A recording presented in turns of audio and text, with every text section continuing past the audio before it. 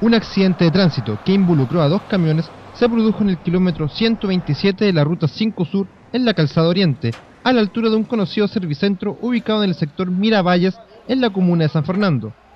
Este hecho originó una gran congestión vehicular que duró varias horas y una extensión de más de 8 kilómetros, siendo restablecida en horas de la jornada. Funcionarios de la tenencia de carretera Colchagua se apostaron en el lugar del suceso. Por razones que aún se desconocen, uno de los vehículos de carga perteneciente a una empresa de fierros chocó por alcance el remolque de otro camión de una compañía maderera. Producto de lo anterior, ambos móviles obstaculizaron la doble calzada provocando la congestión.